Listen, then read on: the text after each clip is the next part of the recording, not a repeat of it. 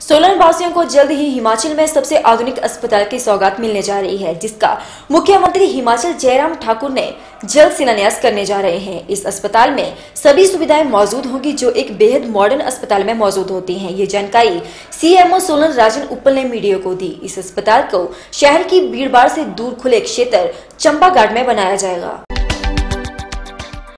सोलन वासियों को जल्द ही हिमाचल में सबसे आधुनिक अस्पताल की सौगात मिलने जा रही है, जिसका मुख्यमंत्री हिमाचल जयराम ठाकुर जल्द शिलान्यास करने जा रहे हैं। इस अस्पताल में वे सभी सुविधाएँ मौजूद होंगी, जो एक बेहद मॉडर्न अस्पताल में मौजूद होती हैं। ये जानकारी सीएमओ सोलन राजन उपल ने मीडिया को दी। इस अस्पताल में शहर की भीड़भाड़ से दूर खुले क्षेत्र चंबा घाट में बनाया जाएगा, जिसके लिए अब नक्शा बनाने का कार्य चल रहा है। ये कार्य लोक निर्माण विभाग को सौंपा गया है। जैसे ही ये नक्शा बन जाता है तो मुख्यमंत्री हिमाचल इसका शिलान्यास कर सकते हैं। अधिक जानकारी देते हुए सीएमओ सोलन राजन उपल ने बताया कि सोलन का अस्पताल इतना भव्य होगा कि इसमें रोगी को आपातकाल में हेली एंबुलेंस से भी लाया और भेजा जा सकेगा। दोस्तों, बेड इस अस्पताल में सभी आधुनिक सुविधाएँ होंगी। एसके लेटर्स लगाए जाएँगे। रैंप बनाकर इसे डिसेबल फ्रेंडली बनाया जाएगा। वहीं यहाँ सैकड़ों गाड़ियाँ खड़ी करने के लिए पार्किंग भी बनाई जाएगी। उन्होंने बताया कि इस अस्पताल में ट्रॉमा सेंटर का भी प्रावधान रखा गया है ताकि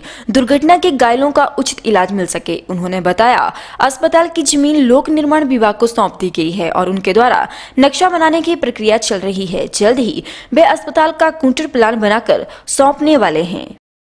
डॉक्टर राजन उपल सीएमओ सोलन ये जो कथेर हॉस्पिटल बन रहा है हमारा सरकारी रीजनल हॉस्पिटल सोलन वहाँ पर शिफ्ट हो जाएगा।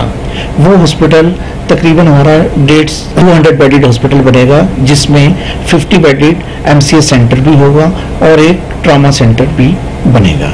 इस हॉस्पिटल में सबसे खास बात यह रहेगी कि ये एक तो डिसेबल फ्रेंडली रहेगा। इसलिए हम वहाँ पर रैंप्स लगाएँगे एक्सलेटर्स लगाएँगे लिफ्ट्स लगाएँगे, और तरह तरह के साइनेजेस लगेंगे जिसमें कि मरीज़ को इधर से उधर जाने में कोई परेशानी ना हो। और दूसरा ये भूकंप रेजिस्टेंस बनाया जाएगा कि अगर हाईएस्ट ग्रेड का भी भूकंप आ जाता है तो एटलीस्ट इस हॉस्पिटल को कोई कुछ ना हो सके।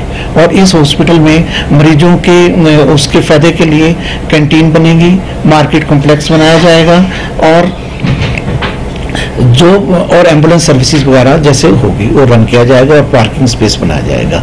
और विशेष तौर पर हमारी कोशिश रहेगी कि इसमें हेली एंबुलेंस का भी कोशिश की जाएगी अगर किसी मरीज़ को यहाँ से तुरंत दूर शिफ्ट करना पड़े तो हम उसको हेली एंबुलेंस के ज़रिए भी शिफ्ट कर सकें।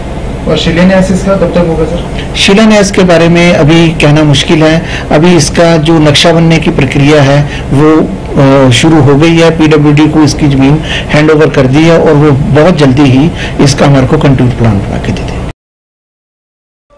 वक्त हो चला एक छोटे से ब्रेक का। ये मिलते हैं ब्रेक के बाद।